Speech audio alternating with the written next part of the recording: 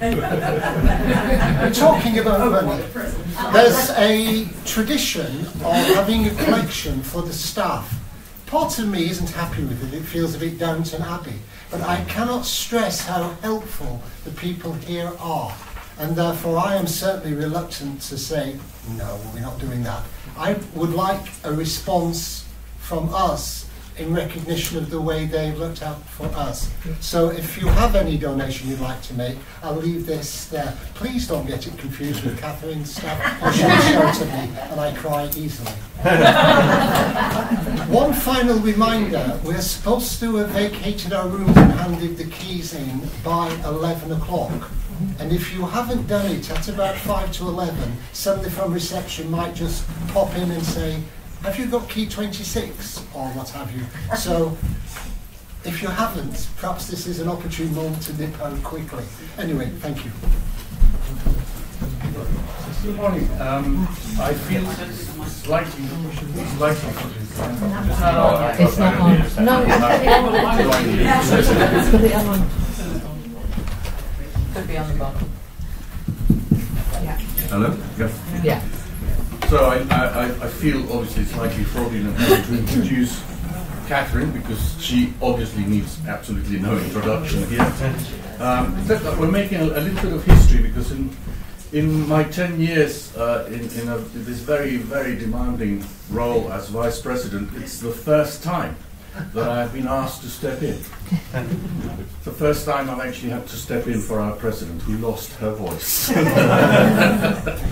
uh, but Catherine is, uh, yeah, we've been in the provincial council together for now over, over 10 I years. everything to over get 10 years. I incompetence. And, uh, She's tried everything. She's been um, formation officer and now events and events officer. And as you know, she's extremely dedicated, hardworking. She can always be relied on to keep us in the, on the straight and narrow. She will always point out whenever we're about to get something wrong or have got something completely wrong, and she will very quickly correct it. And uh, so I don't know what we're going to do when she decides that she doesn't want to be there anymore. Uh, but she's also extremely studious, very knowledgeable, and I'm sure we're in for a treat. So, Catherine.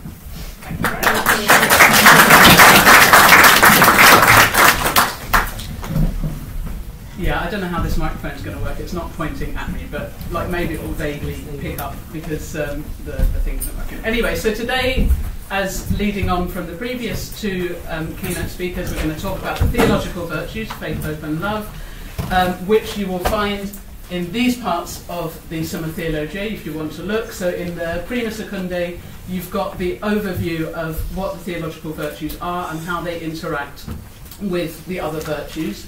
And then in the first part of the Secundae Secundae, you've got each of the theological virtues in turn and um, the effects of it and the gifts attached with it and the vices that are opposed to it and so on.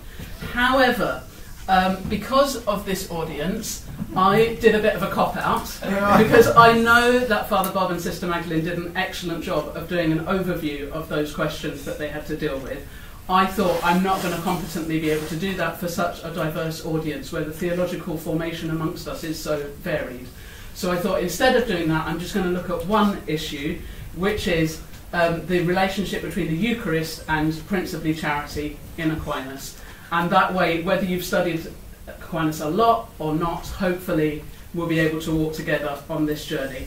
Um, it's not something that Thomas deals with in one individual question, so we're going to be drawing from different parts of the Summa in particular, but also occasionally from others of his writings. So I hope you're okay with that. If you wanted an overview of faith, hope, and charity, go into a different talk. you're welcome to leave right now. Um, so I like when I'm teaching to give people an idea of where we're going just because it might give them some hope that there is going to be a light at the end of the tunnel if you're getting really bored. And, um, and if you're tired, you can kind of fall asleep and, and I'll prod you when it gets to a bit you might be interested in. Um, you can let me know. So, firstly, we're going to have a look at what it means to say that the Eucharist is the sacrament of charity, this genitive of charity, and also included in that um, whether we receive charity, whether charity is infused into us through the Eucharist.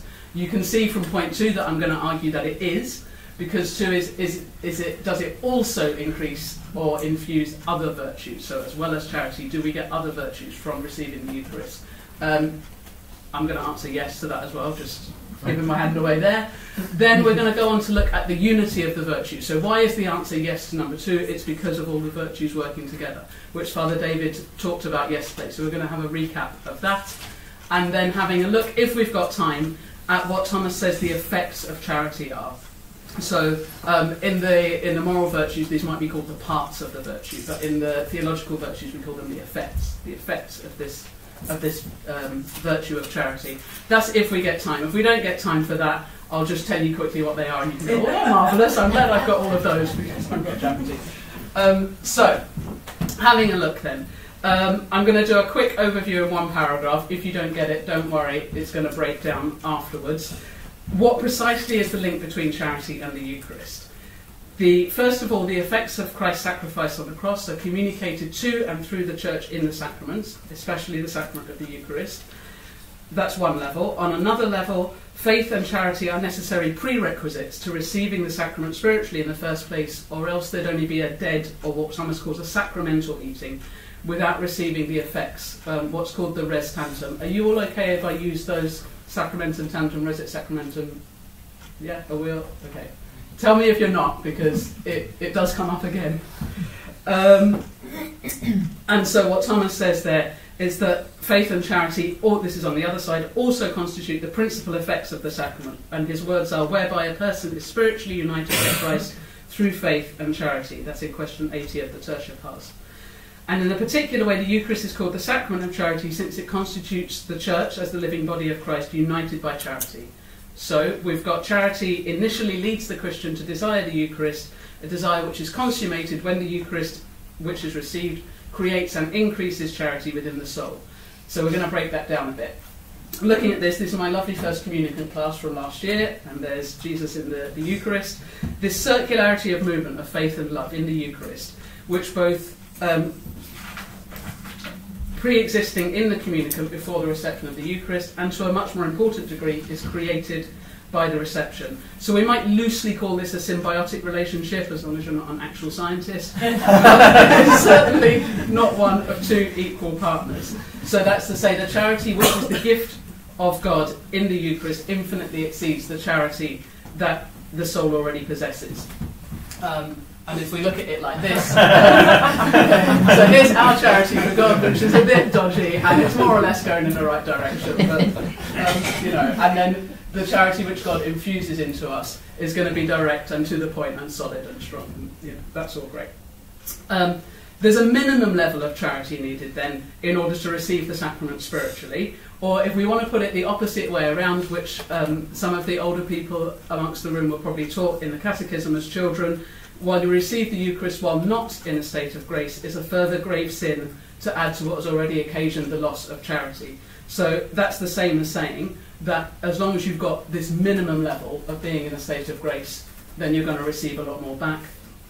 Um, but if we do approach the altar while in a state of mortal sin, Aquinas teaches we would still receive the res et sacramentum and the sacramentum tantum, so we still receive the Eucharist sacramentally, um, that's because metaphysically it would be very poor um, Eucharistic theology to try to maintain that the Eucharistic body of Christ is only present in the Eucharist when received worthily by a member of Christ's true body, and that his, his sacramental presence would cease to be there if, um, if the wrong person received. But this person would only receive under a sacramental sign and none of the benefits that are associated with the Eucharist. So the res tantum of the sacrament is received only by those who approach the sacrament with a faith animated by charity. So charity isn't needed in order to be able to physically touch the sacramental body of Christ, but in order to receive the effects of the sacrament in the soul. For the person who does not have this minimum level of charity, there's no true communion. And for the one who does have even a minimal amount of charity, I'm, I'm not like singling my first communion out. charity, they're great. Um, that's just the picture I had. Um, but even a small amount of genuine charity, the Eucharist will then bring an incommensurable increase. So, in summary, we've got three senses in which we can say that the Eucharist is a sacrament of charity. Firstly, that it contains Christ, who, as God is love, is charity, and as a human possesses the fullness of all virtue. Secondly, and that as we've just been talking about, it requires there to be charity already in the soul of the recipient for it to be fully and properly received.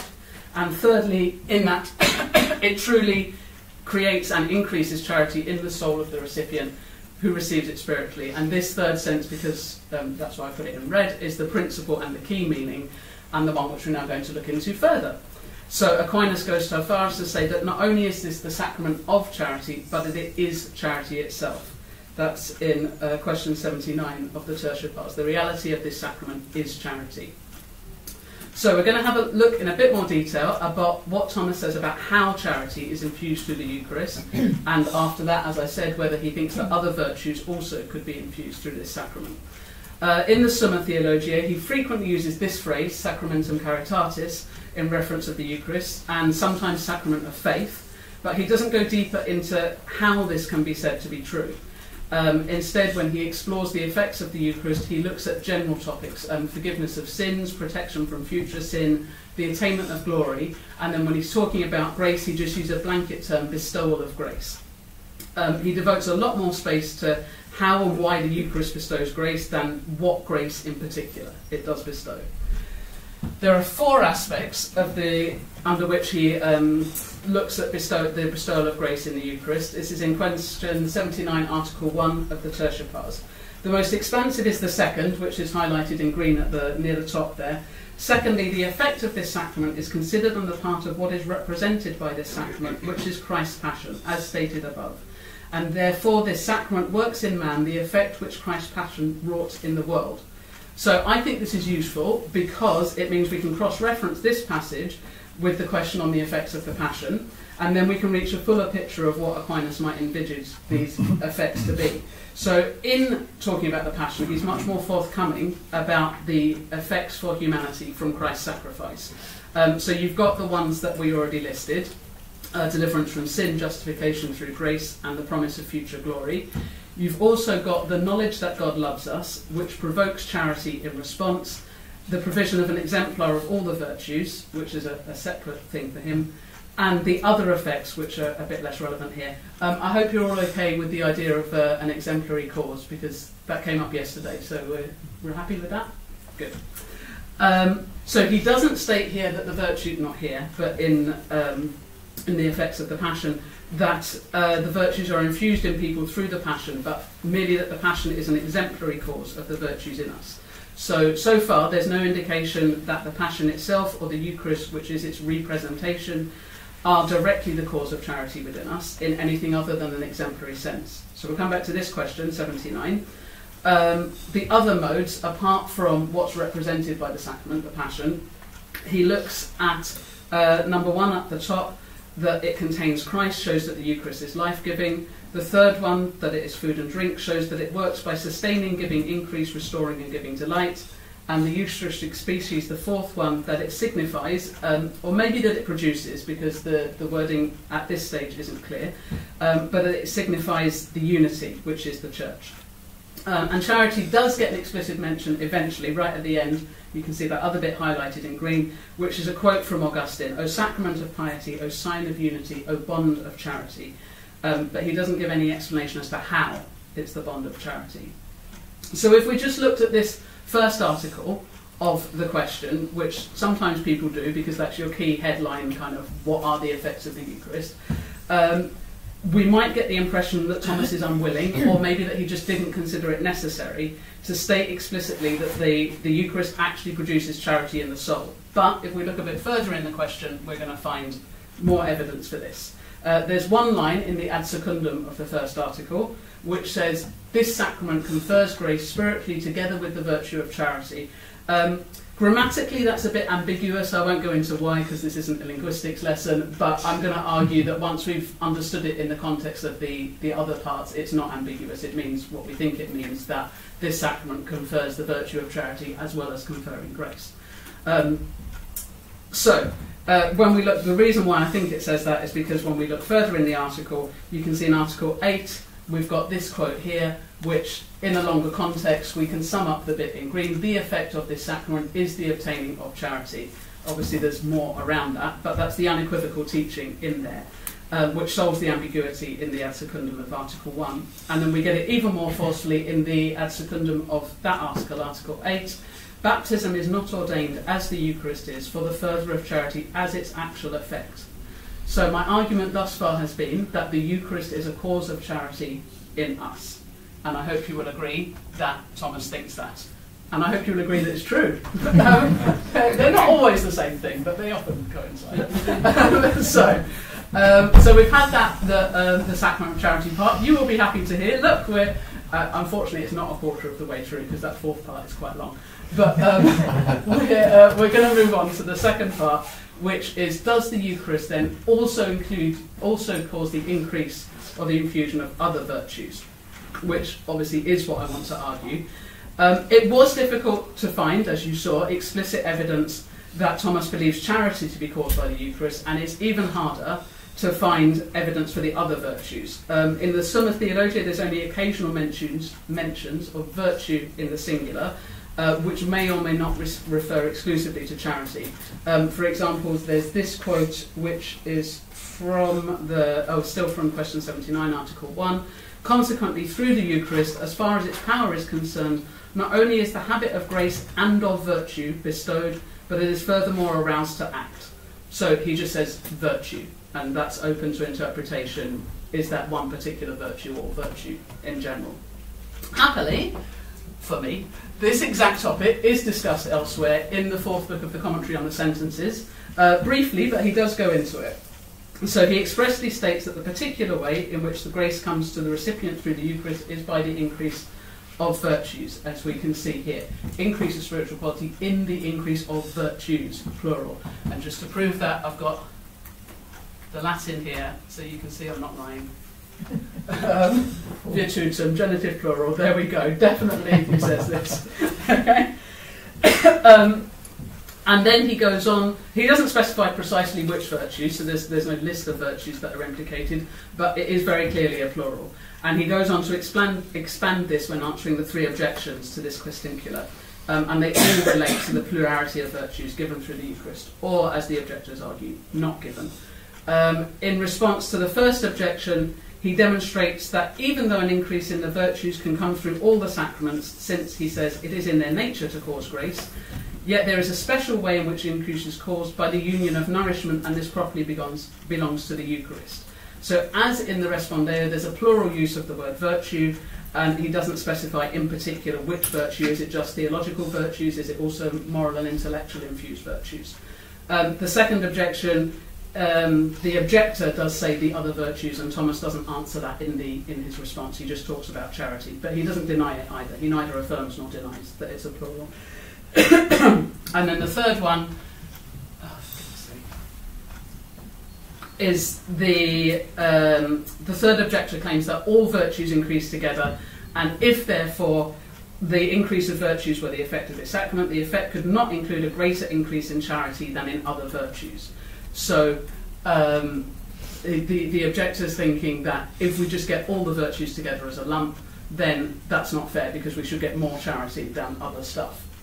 And Thomas then answers that uh, the increase of charity more than other virtues is attributed to this sacrament, but um, he doesn't. Uh, what am I going to say? He's, he gives a preeminence, a priority to charity, and I don't think that's controversial because the Eucharist is the sacrament of charity. But I think what is interesting is the place given to the other sacraments, and that's that's something to note. Uh, sorry, not the other sacraments, the other virtues. Um, he seems to hold that the virtues as a group are given through the Eucharist. So there's not a whole load of evidence for this if you're looking for real, real, like, textual um, evidence that he definitely taught that all the virtues can come to us through the sacraments. This is why I'm going to rely on the idea that the, the unity of the virtues, which we'll come to in a sec. Um, but I think there's enough evidence that it's, it's there as a theme, that we can hold that although he didn't return to this theme in the Summa for whatever reason, he I would argue, continued to hold that along with charity in the lead, the other virtues are what make up the grace that's given through the Eucharist in the present time as the form of sanctification which unites the recipient to Christ and to the Church. So my argument is that the virtuous life is Eucharistically formed. And this is why. So you see now we're going to be on the third part, of the unity of the virtues.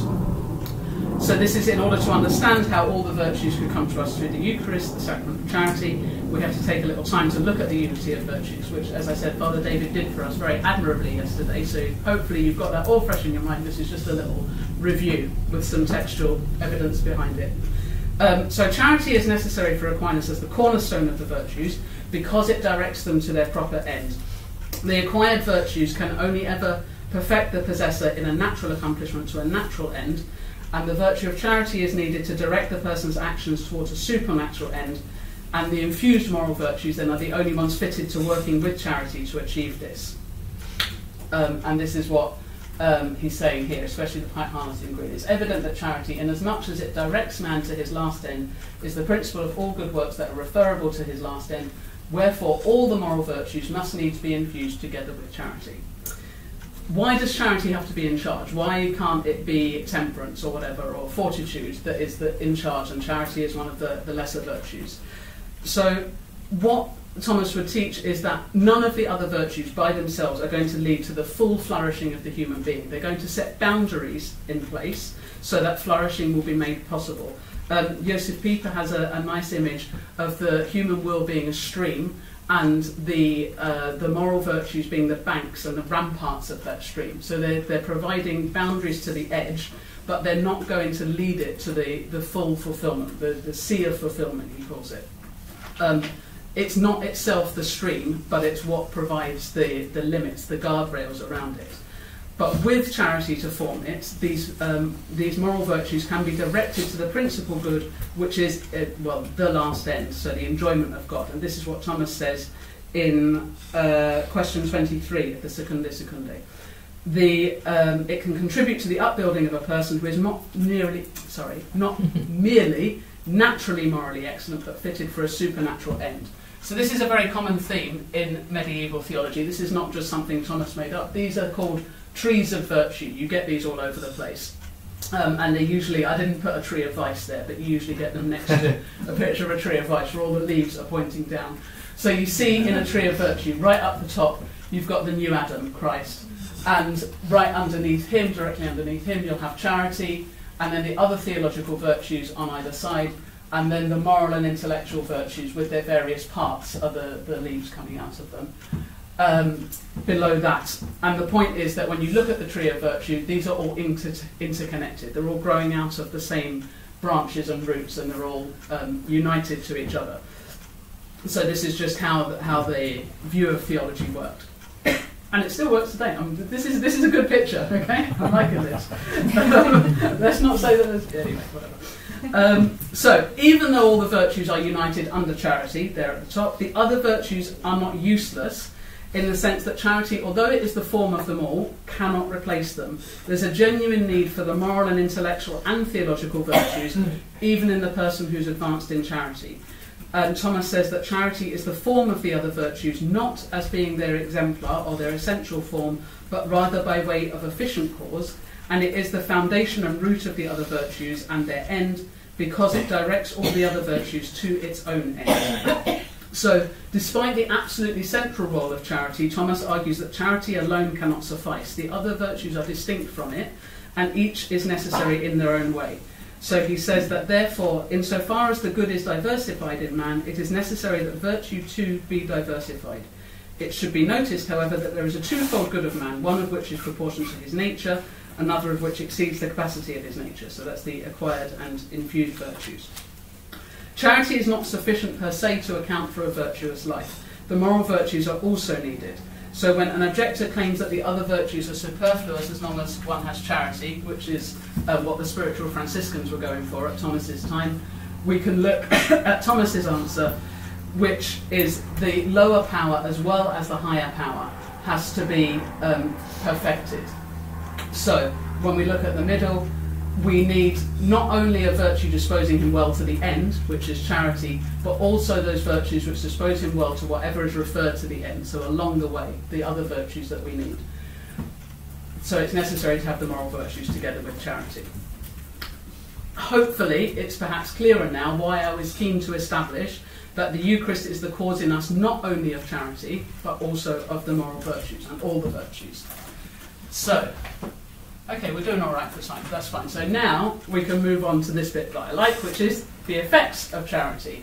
the effects of charity, um, which is what we're going to look at for the rest of the talk, I'm going to look at as a kind of test case for how the life of theological virtue operates within us.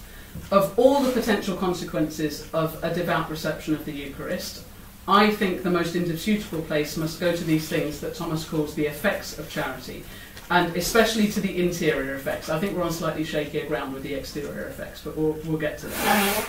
Um, he doesn't enter into detail about how these qualities come to be. It doesn't appear, for instance, that he thinks they need to be infused separately in the same way as the theological virtues, and certainly not that they must be acquired through human effort like natural moral virtues. So it appears as though the effects of charity follow without hindrance or further intervention, either divine or human, from possessing the virtue itself, from possessing, in this case, charity itself. So, although these effects are not listed as being amongst the effects of the Eucharist, we can state with confidence that it's in keeping with Thomas's theology that they should be linked in this way. So, here we've got what they are mercy, peace, and joy are the internal effects of charity, and beneficence, almsgiving, and fraternal correction are the external effects of charity.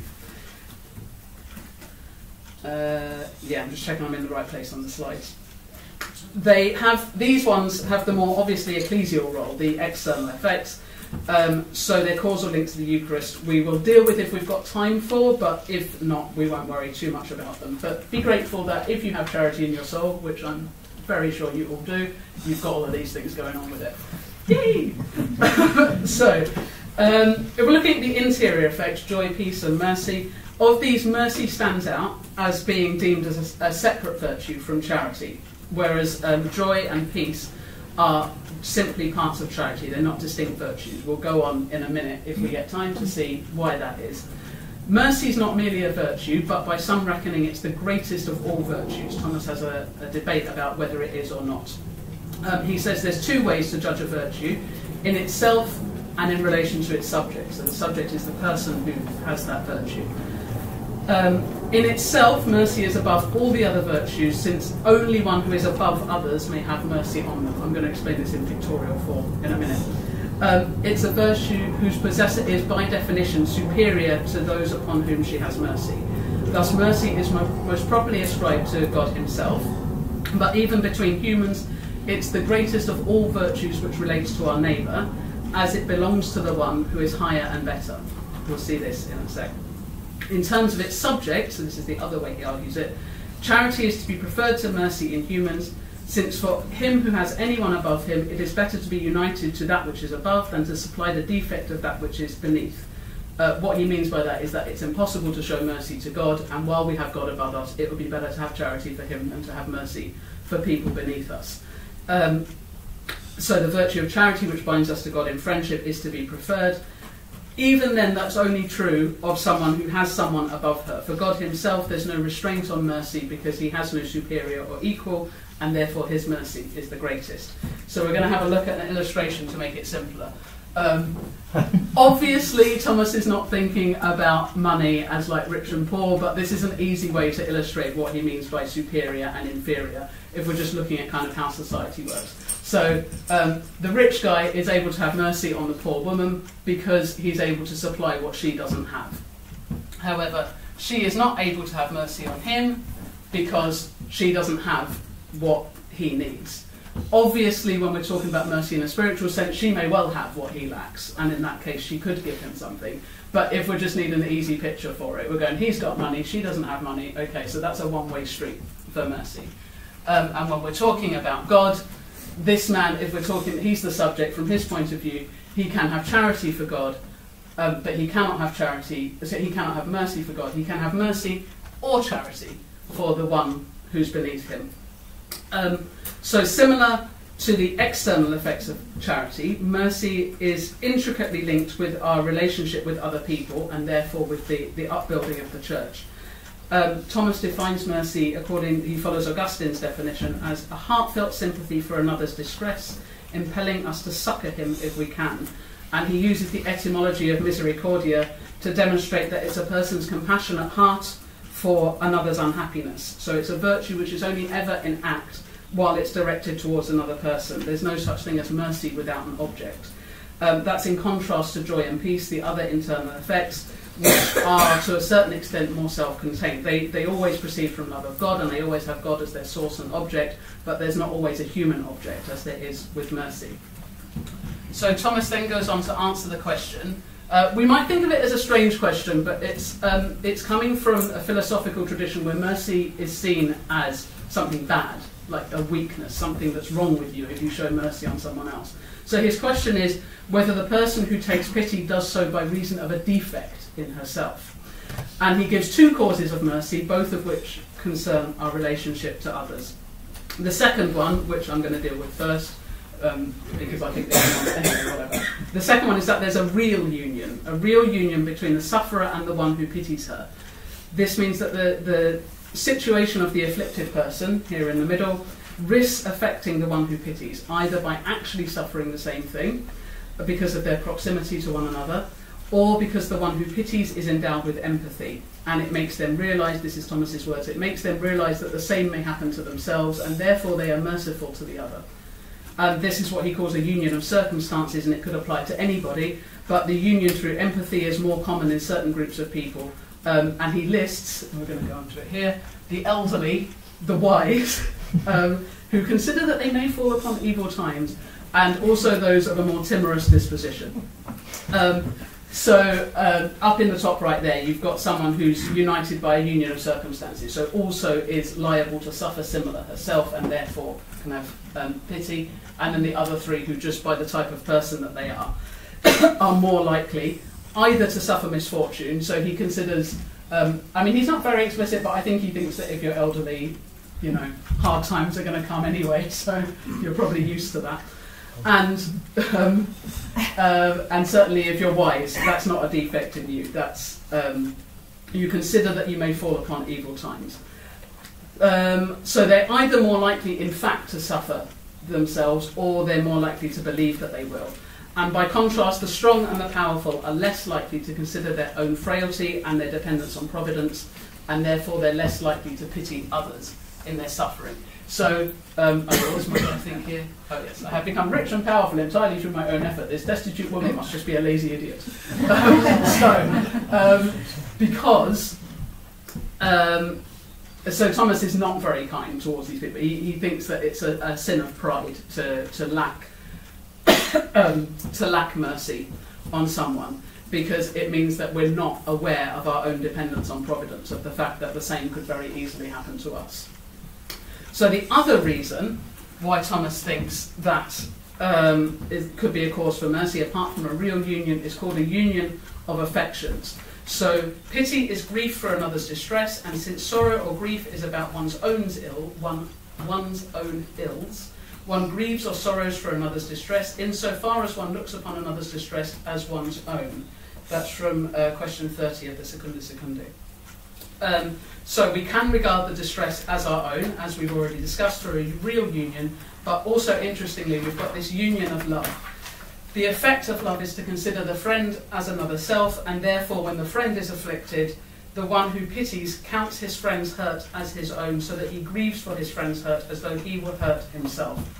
So this is what's going on in this guy's mind, that he's um, realizing that there's an his friend is equivalent to himself. Again, don't get all sciencey on me. That that's not missing as a mathematical symbol. Um, so love for Thomas is the cause of mercy, not in some ill-defined, nebulous way, but directly. Pity stems from the union of friendship and is immediately caused by the very nature of friendship love, which adopts the friend as another self. And Aquinas notes that God pities humanity in this way only, not from a real union, but from a union of affections. So it's a supremely Christian virtue, and as I sort of previously alluded to, alluded to, it's a uniquely Christian virtue in that it wasn't prized highly by the ancient philosophers, since it um, proves the union of love between persons, the constitution of which is the very bond of the church. The ability to see the friend as another self exceeds the standard definition of mercy, which considers that the one who shows mercy is stronger than the one to whom it is shown, and the weaker party needs to be pitied because she cannot help herself and needs external support. Certainly, for Aquinas, there does need to be some disparity between the parties so that one is able, in a position to offer mercy to the other, which is normally because they have something the other lacks, so there's some condition of superiority. But the major thrust of his argument is that um, both in the, quote, in the case of God showing mercy and in the case of, of human beings showing mercy between them, um, charity is the cause of mercy, and charity, meaning that the one towards whom mercy is shown is regarded as another self, draws mercy to surpass itself by being greater than the mere empathetic response to another's distress. In charity, the distinction between the superior and the inferior person is effaced in the union between the two as we saw yesterday, friendship requires a certain equality between friends. So the other two effects of charity, uh, internal effects, joy and peace, as already mentioned, are not considered by Thomas to be independent virtues, but they're necessary results of possessing charity. Um, he reasons this because they're not operative habits by themselves, they're an act or an effect of charity, which he says do not add to love any special aspect that might cause a special virtue you might not be that bothered about that. He's just saying why is hope a separate virtue from love and joy and peace aren't. So he has a, a good answer for why not, but don't worry too much. About it. We'll move on. Um, so we remember that charity is not any love, but it's a participation in God's own love with God as the object of beatitude.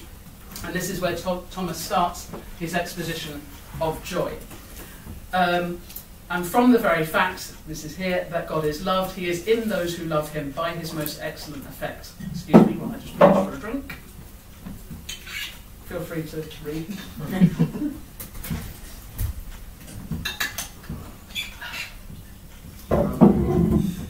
so the spiritual joy, which is the effect of charity, works in a way parallel to how the passion of joy proceeds from the passion of love. Joy is caused either by the presence of the person or the thing loved, or because the proper good of the person loved exists and endures in it, in, in the beloved.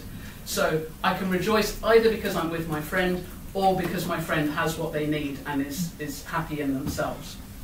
Um, whereby a man rejoices in the well being of his friend, though he be absent. That's from question 28. So all these parts are question 28 to 30 of the Secunda Secundae. um, both of these causes of joy exist in the case of spiritual joy, um, because we've seen God is present in and um, to those who have charity for him, and his proper good, which is his essence, necessarily exists in him, and therefore it's a cause of joy for those who love him.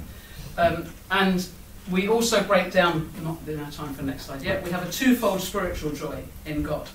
The first way is that we can rejoice in the divine goodness considered in itself, and that proceeds from charity alone.